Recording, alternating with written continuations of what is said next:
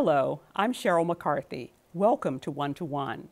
While almost 70% of the students in New York City's public high schools are black and Latino, they comprise a mere 10% of those who attend the eight elite high schools that admit students based on their rankings on an admissions test. How can the city spread the educational benefits of its elite high schools to a more racially diverse group of students? And what about the city's gifted and talented programs in the elementary and middle schools, whose students are also predominantly white and Asians? These are questions David Bloomfield, professor of education, leadership, law, and policy at Brooklyn College and the CUNY Graduate Center, has grappled with, and he'll share his thoughts with us today. Welcome. Thank you. Last year, Mayor de Blasio and schools chancellor Richard Carranza announced a plan to increase racial diversity in the city's elite public high schools. But after receiving a lot of pushback to his plan, last month he said he was backing away from it. What did you think of the mayor's plan, and how do you feel about his decision not to go forward with it? The mayor's plan on the SHSAT, the single rank ordered test that uh, admits students to these schools uh, was actually a good plan. Uh, he just didn't put any political muscle behind the plan. Uh, so I supported that, but it really is time for the state legislature to repeal the state law that requires that test and leave admissions to New York City public schools to the New York City Department of Education and its citizens.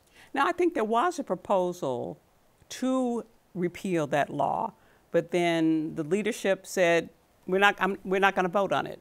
Is that what happened? What happened was there was a, a bill to change the law. Nobody could agree on what the changes should be, and, and so that bill went nowhere, which was totally predictable. The best solution is to simply repeal the law, a yes or no vote, and then return that kind of admissions decisions to the City of New York. Now, the test, I mean, currently, there are actually nine specialized high school. One is LaGuardia, and you get in by audition. The eight others currently use the admissions test, but only three of them, Stuyvesant, Bronx Science, and Brooklyn Tech, are required by law to use the test, correct? That's correct. Uh, in 1970, the Hecht-Calandra bill, which was intended to make these schools kind of a fortress of white privilege, uh, demanded only that three schools, the ones you mentioned, would use the SHSAT. Mayor Bloomberg, in his wisdom, uh, increased that number to, to another five schools. Right. And I say we should free the Bloomberg Five from that kind of regimen. It doesn't make sense educationally. It also has a, a terrible effect on racial uh, diversity, but it makes no sense to be choosing students for these schools based on a single rank ordered test with no look back at what their grades were, what their other accomplishments may have been, their writing ability. In fact, these supposedly science centric schools, there's no science on the test. Really? That's interesting. Does New York City need to have high schools where exceptionally bright and talented students are taught separately from regular high school students? Do we, do we need schools like that? Educationally, we don't need those. In fact, uh, to turn your introduction on its head, I think we need to diversify the education, the educational benefits from the other schools to the specialized high schools. Uh, it's ridiculous to have people who are regarded as well educated to go to a school which is predominantly white and Asian when the majority of the city's population is black and Latino. So we need to spread the wealth in both directions. But the answer to your question is also a political question, more, I think, than an educational question. And politically, apparently, we need to be able to sort kids by calling them gifted or non gifted. Uh, but educators, by and large, don't see a specialized high school for these students as necessary. Okay. Um, why is it important? I mean, it may seem like a, a, rhetorical question, but why is it important that there be more black and Latinos in the elite schools? If you're going to have elite schools, Why is it important that you have more blacks and Latinos in them than you have now? Right. These are high schools. In high school, kids should be having a comprehensive curriculum of English, math, science, social studies, and the arts. Uh, they should be exchanging points of view with one another. And if you have these students living in a bubble, and many of these students have been in an academic bubble since elementary school, to be well rounded adults, they need to have a well rounded education. And that means with a diverse student body. And that diversity extends not only to race, it is uh, going to school with special needs students, it is with uh, students who speak other languages, uh, and those kids are almost wholly excluded from the specialized high schools because it's this one single state mandated test. Is the test the only thing that's keeping more black and Latino students from getting into those schools? I think what happens is that we create a kind of vicious cycle because so many black and Latino kids don't attend because of the test. Other black and Latinos say, why should I take the test in the first place and put all that time into tutoring when I could be doing other things, when I would be going with just a handful of, of kids like me? And, and so there's a, a hostile environment, I think, whether intended or unintended, so that black and Latino kids don't even put it on their uh, radar screen for application. The mantra has been that the students get in to Stuyvesant, Bronx Sci, Brooklyn Tech, primarily because they, uh, they have the money to pay for preparatory courses. Um, and that you, you hear that a lot. But Asian students, who, for instance, are 70% of Stuyvesant, um, Asian students, the, the average family incomes in New York City are lower than those of blacks in New York City. Do we, do we know that, that those students are actually paying for test prep, or are they get, just getting in because they study harder? Well, one of the questions would be what are they studying? Are they studying their school subjects? Or since there's only uh, math and uh, English language arts sections to the test, are they studying for the test? I would say that that's a misappropriation of time. Uh, but it's also a question of where you put your limited financial resources. And in the Asian community, there is an industry, and people like to call it a cottage industry. It is not a cottage industry, it's an industry of test prep. And this is more about tutoring than it is about talent. Okay. There have been a number of programs I know uh, over the years that have been aimed at increasing the number of blacks and Latinos in the specialized high schools. I think free test prep courses. Uh, I know there was something called Discovery Program. I don't know if that was for the specialized high schools or something else. But there have been efforts. Uh, so why haven't they been successful in creating more diversity in those schools? Uh, there are a number of reasons why it hasn't been successful, in, including the Discovery program. And we're about to see what happens with the expansion of Discovery under the de Blasio plan. Program? Discovery really is just a way of substituting to some degree students who fell just below the cutoff for these schools for kids who were slightly above the cutoff. Uh, but it's still test based. And I want to emphasize that the test as a exercise in academic talent makes almost no sense. We might as well give the kids a hard crossword puzzle that they could study strategies for, for doing well and, and give it to them. Uh, so in the African American and Latino communities, the idea of test prep hasn't caught on. Uh, there's an arms race, so kids are starting in the paid test prep programs at sixth grade, and these test prep programs uh, that the DOE offers. Uh, and, and offers to all students, not just to black and Latino students, uh, are a few weeks just before they take the test. Uh, it, it just isn't enough. And we're still talking about tutoring. We're not talking about proven academic talent through grades and other inputs. So if you don't use an admissions test um, as the criterion for whether you get in or not, What, what do you do? What should you do? People often talk about the Texas plan for University of Texas at Austin admissions, which is the top percent of students in grades from every middle school. And that's what that's Mayor one, was talking about, right? right. That's one possibility. Uh, you could have uh, multiple measures. You could use uh, both test scores, state test scores, and grades. Another way is you could have a tranche of students who only get in through the SHSAT, say a third. Another tranche who get in through a multiple measure situation, and another tranche that get in through grades. Uh, in Chicago, they use uh, a income test because they want to make sure that poor kids get in as well as wealthier kids. And, and so there are many ways to skin this cat. It's not a science. Nobody knows who should get in and who shouldn't get into these schools. And uh, we need to move that away from this legislative fiat. It's simplistic and wholly political in terms of the single test, and have studies and some consensus build up if we're going to have these schools at all. So, have the Texas plan and the Chicago plan have they been successful in diversifying?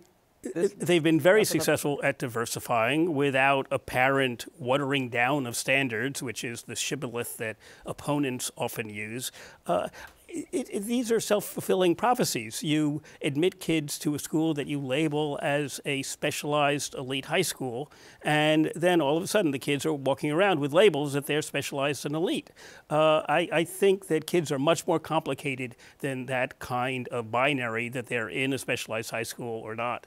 In fact, a lot of white kids are going to these uh, kind of new breed of, of screened high schools very often, like Beacon School, where one of my kids went, and, and they wouldn't be caught dead in the pressure cooker of a Stuyvesant or a Brooklyn Tech. Okay. We have to take a short break, then we'll be back with David Bloomfield, Professor of Education, Leadership, Law, and Policy at Brooklyn College and the CUNY Graduate Center.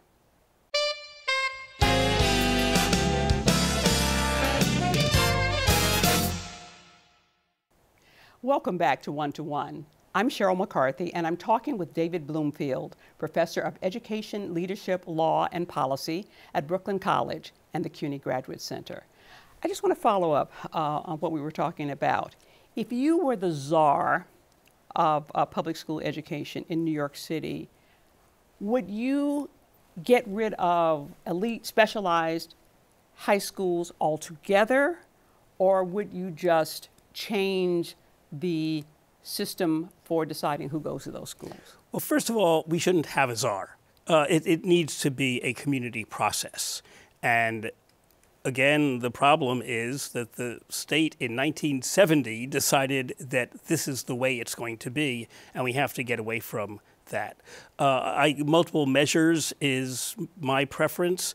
Uh, kids are holistic in their interests and their ability, and they shouldn't have to prove their intelligence in one way uh, rather than some other way. Uh, and especially a situation with a standardized test that is highly tutorable seems like the worst way to go. But you do see some value in having schools for, I don't know, the best and the brightest or whatever. I, I, I suppose I would rather have an integrated school uh, where all sorts of kids are going. And if you happen to have advanced classes in mathematics or science or English for that matter, uh, then you can offer those classes within the context of a larger situation. Okay, got you. Beyond the specialized high schools, there's the city's Gifted and Talented program for elementary and middle school students. And as I understand it, that consists of five so called gifted schools and about 75 other gifted and talented programs scattered around the system. Usually, you have one gifted and talented class per school that has such a program. 75% uh, of the students uh, in those programs are white and Asians, which means that those programs are somewhat more racially diverse than the specialized high schools, but not a lot more. Um, And these students, the gifted and talented students, are selected on the basis of a test given to them when they are four years old. I assume parents have to request that their students be take be tested for gifted and talented. Yes, that's correct. Okay, okay. Now, a panel appointed by the mayor um, has recommended sweeping changes in that program. What kinds of changes, and what do you think of its proposals? The School Diversity Advisory Group, the SDAG, came up with two reports, and in its second report, its final report, it recommended elimination of this uh, kindergarten based gifted and talented program uh, where students take a test, again, a single standardized test, uh, no interviews, no nothing, which other gifted and talented programs in the city, for instance, the Hunter College Elementary School, pursue, the independent schools pursue. This is just one test where students often get tutored, tutored again, and uh, that should be eliminated. I think there's widespread agreement it should be eliminated, and it took this SDAG to recommend that formally to the mayor. The mayor, unfortunately, seems to have shelved that for now, and he only has another two years in the administration. Uh, that would be a great benefit to the students of New York, these these little supposedly gifted kids, as well as everybody else, to uh, stop that kind of premature labeling of, of intelligence. Okay. Um, if there's little racial diversity in the specialized high schools, and there's little diversity in the gifted and talented program, there's also very little racial diversity in the public schools overall. New York uh, is said to have the most racially segregated schools in the country. Um, is that true? And how segregated are they? it, it is true. Uh, the uh, statistic that's usually mentioned is one that comes out of UCLA, and that had to do with the whole state. But the elephant in the room in that study was New the New York City. City Department of Education. Uh, our schools are highly segregated, and I think it's the mayor's single greatest failure, uh, perhaps in his whole administration, certainly in education, that he hasn't attacked this on a citywide basis. He's allowed certain localities to go forward Community School District 15, 3, and 1 uh, three is the Upper West Side of Manhattan. One is the Lower East Side and Chinatown, and 15 is Brownstone, Brooklyn. Uh, but but those have been community based, and uh, we can only go just so far in terms of community based desegregation programs. Why are New York City schools more segregated than, say, the schools in Alabama, where I'm from? Why? Well, of course, we do have a great range of, of uh, residential segregation, but the schools themselves are even more segregated than the neighborhoods. Uh, so uh, there's a high degree of, of racist based sorting that goes on.